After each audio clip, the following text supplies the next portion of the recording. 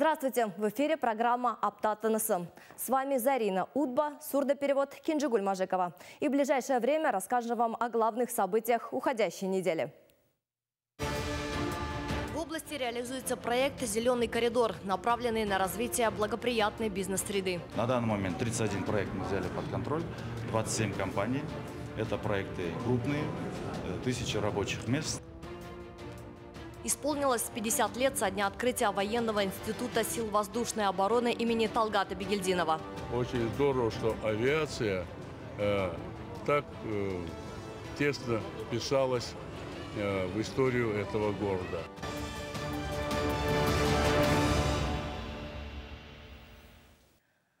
Настоящее время одной из ключевых задач, стоящих перед государством, является поддержка отечественного производителя товаров и услуг. Отметим, политику поддержки и защиты внутреннего рынка проводят такие высокоразвитые страны, как США, Евросоюз и Китай. Поэтому с учетом мирового опыта в Казахстане также практикуются соответствующие меры. В частности, в стране намерены внедрить единый реестр товаропроизводителей. Вошедшие в него производства смогут рассчитывать на государственную поддержку в приоритетном порядке. Работа по импортозамещению проводится в Актюбинской области. С этой целью в регионе разрабатывают дорожную карту запуска каждого предприятия. Также с прошлого года в регионе реализуется проект «Зеленый коридор» для, инвест... для инвесторов, направленный на устранение административных препятствий и развитие благоприятной бизнес-среды в регионе. А в рамках развития придорожного сервиса в текущем году в области откроют 6 новых кемпингов, а к 2026 году свыше 20. О том, какие именно меры меры принимаются для оказания содействия бизнесу, расскажем в следующем сюжете выпуска. В настоящее время в регионе свою продукцию реализуют порядка 270 товаропроизводителей, имеющих сертификаты СТКЗ и индустриальные сертификаты. Ими производится более 8 тысяч наименований товаров в сфере машиностроения, изделий металлообработки, химической промышленности, стройматериалов, продуктов питания, мебели, бумажной продукции.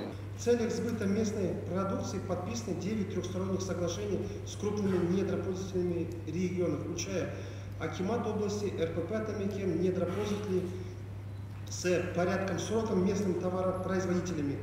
Данный перечень товаропроизводителей дополняется нами на ежедневной основе. Более того, в целях поддержки местных производителей функционирует комиссия по мониторингу закупок государственных органов недропользователей и инфраструктурных проектов.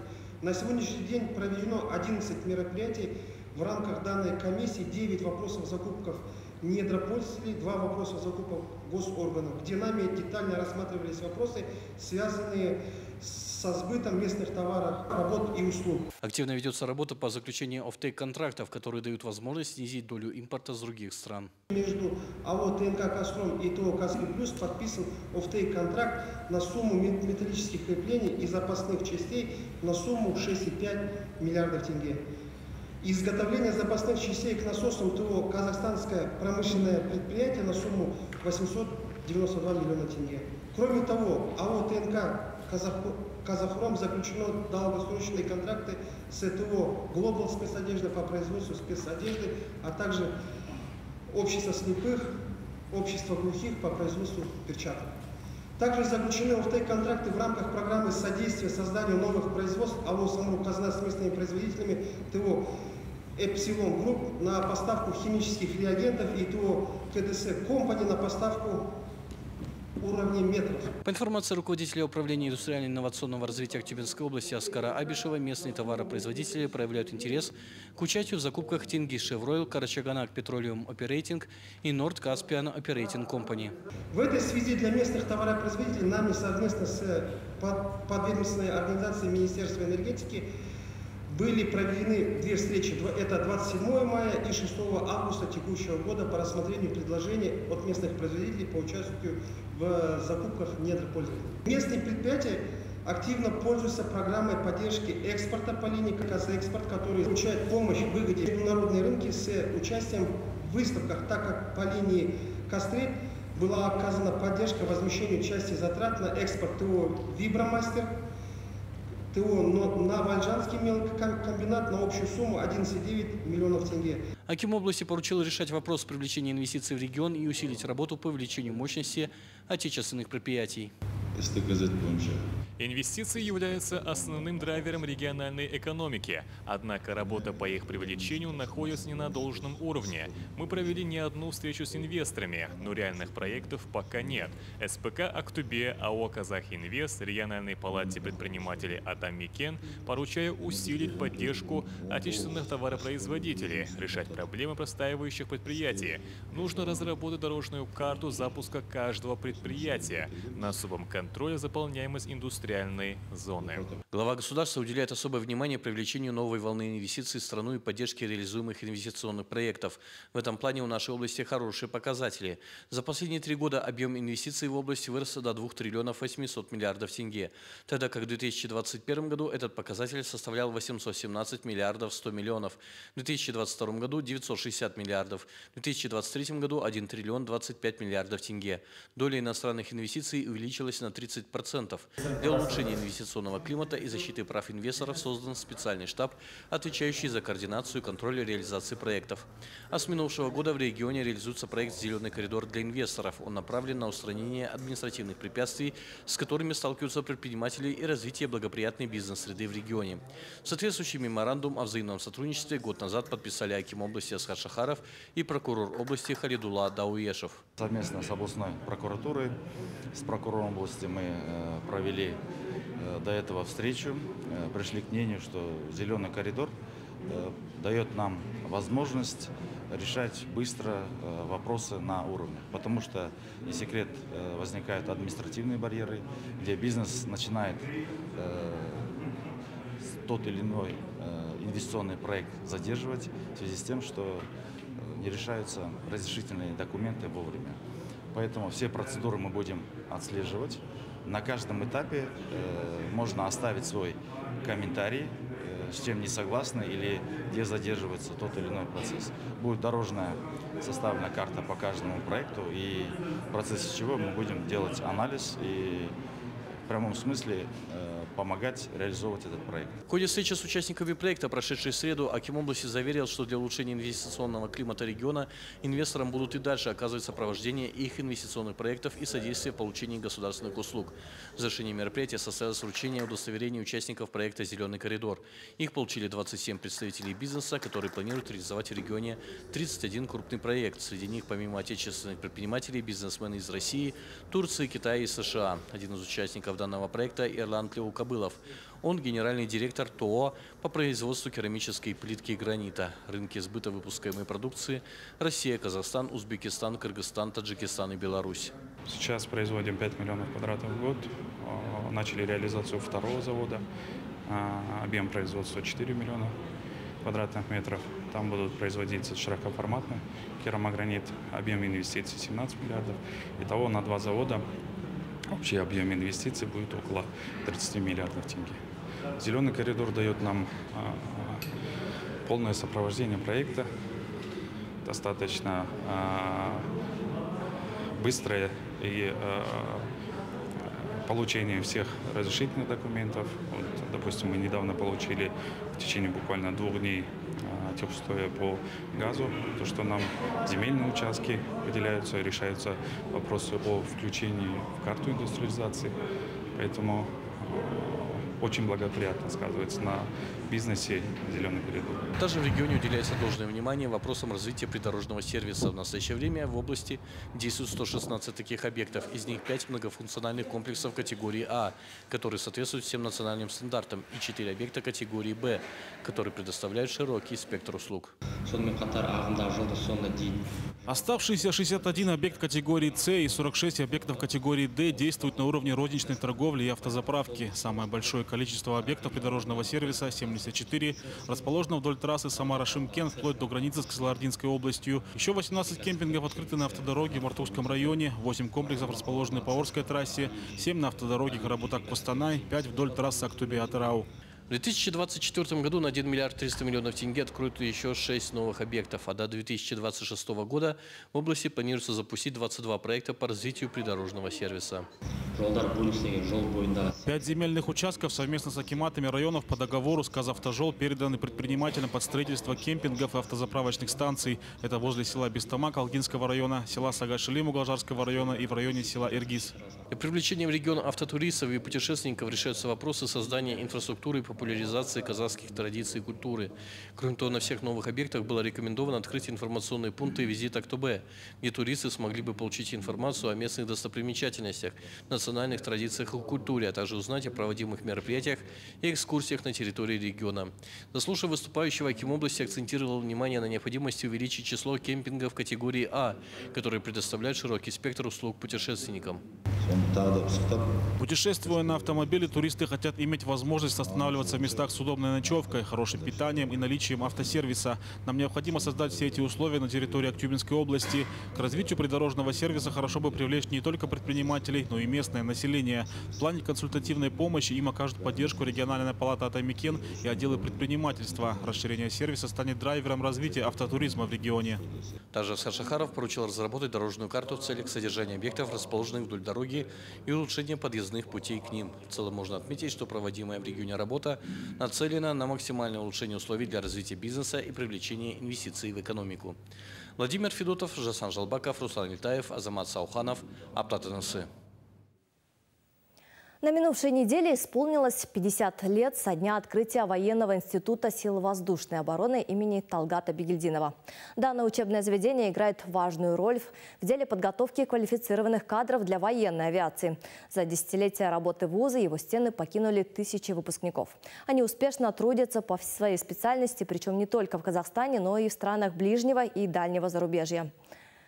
Поэтому неудивительно, что в честь юбилейной даты было организовано праздничное мероприятие с участием Акима области. Кроме того, среди приглашенных гостей был обладатель звания Халак Кахармана, первый казахский космонавт, генерал-майор авиации Тохтар Аубакиров.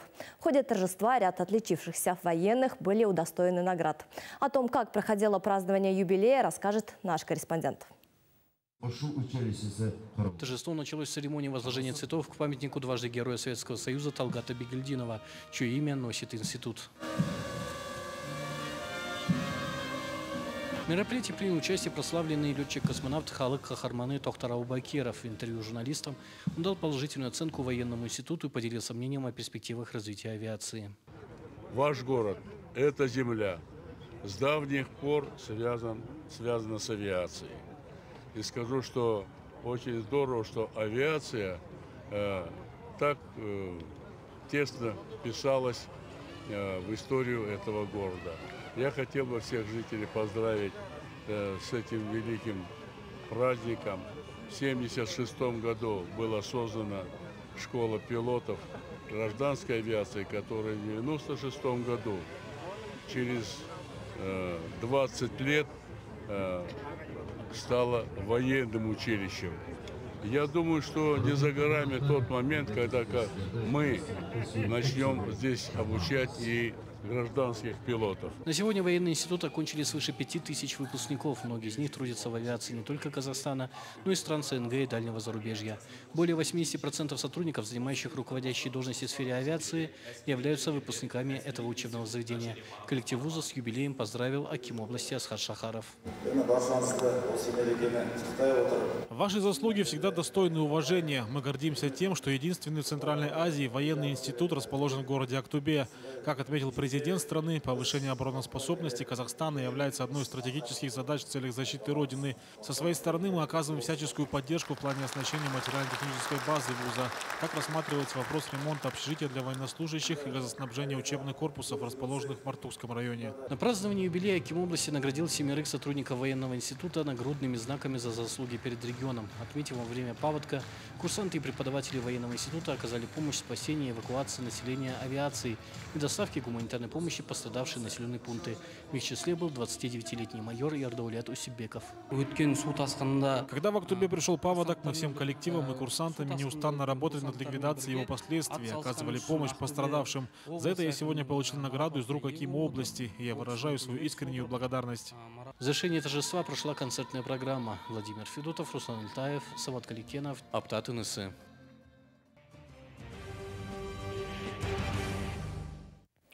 В настоящее время в области реализуется ряд проектов, инициированных главой государства по поддержке талантливой молодежи. Среди них выделение грантов ровесникам независимости страны Тауилисыздык Рпахтары, проекты Жасыл Ель, развитие Института волонтерства Актубе Кэмп, Когамдык Дәріс. Кроме того, стартовал прием заявок на участие в жилищной программе Актубе Жастары. На ее реализацию выделен 1 миллиард тенге. Мерами трудоустройства охвачено более 13 тысяч молодых людей. Из них на постоянную работу устроены 4732 человека. В программе «Жасыл ель» приняли участие 1983 юноши и девушки. Еще 14 человек получили гранты в рамках проекта «Жас Project. Вопросы поддержки подрастающего поколения актюбинцев были обсуждены в ходе очередного заседания Совета по делам молодежи при Акимате области. В совещании, прошедшем под председательством главы региона Асхата Шахарова, приняли участие студенты вузов и представители волонтерских организаций, государственных органов, члены Совета. На совещании были рассмотрены вопросы улучшения социального положения молодежи и молодых семей, в том числе расширения возможностей получения образования, поддержки предпринимательских инициатив, занятости. Заслушав отчет о проделанной работе в регионе по реализации государственной молодежной политики и снижению безработицы, Аким области поздравил участников с Международным днем молодежи. Хочу поздравить вас с Международным днем молодежи. Как вы знаете, не только в нашей стране, но и во всем мире возлагает большие надежды на подрастающее поколение. Мы же свою свою очередь, должны создавать для вас необходимые условия для развития. С этого года, как вам известно, у нас открылось областное управление по вопросам молодежной политики. Таким образом, благодаря этому мы будем решать разные вопросы, касающиеся нашей молодежи. Также в ходе совещания молодежное крыло Жастарухы поделилось результатами проведенного мониторинга общежитий высших учебных заведений. Как выяснилось, в некоторых вузах не созданы необходимые условия для студентов. С прошлого года мы взяли во внимание внимание состоянием материально-технической базы и общежития Западно-Казахстанского медицинского университета. Руководители учебного заведения не выполняли возложенные на них обязанности. К примеру, состояние общежития номер один данного университета оставляет желать лучшего. Также в целях социальной поддержки молодежи стартовал второй этап жилищной программы «Актобажа Стары». В данной программе могут принять участие молодые люди региона в возрасте до 35 лет. По сравнению с первым этапом в нее внесен ряд нововведений. В этом году планируется обеспечить обеспечить жильем 100 молодых людей. В рамках реализации данной программы у нас выделено 500 миллионов с местных исполнительных органов, 500 миллионов тенге с э, банка, э, от Пасбанка. Кроме того, э, в рамках поручения Акима области, в рамках исполнения поручения Акима области в данное время мы разработали в этом году уже полностью интегрировано с платформой ЕГОВ и в целях искоренения, условно говоря, каких-то коррупционных проявлений. В данное время у нас уже заработан, сегодняшнего запущен сайт э, э, в рамках данной программы. Прием заявок э, здесь осуществляется непосредственно по порталу ЕАХТЮБе. В конце заседания Совета молодежь, носящая вклад в развитие региона, была награждена благодарственными письмами Акима области. В их числе учащийся Актюбинского высшего медицинского колледжа Сандугаш Карибай. Я являюсь членом волонтерского движения «Жюриктен Жюрикке». Участвовали в различных мероприятиях. Больше всего вспоминаю дни, когда мы оказывали помощь нуждающимся, которые пострадали от наводнения. Стоит отметить, что в регионе в рамках декады, посвященной Дню молодежи, прошел ряд мероприятий. Владимир Федотов, Жасан Желбаков, Армандо Смагамбетов, Аптат НСы. Такими событиями запомнилась уходящая неделя. На этом у нас все. Очередной выпуск программы «Аптат НС» смотрите в следующее воскресенье.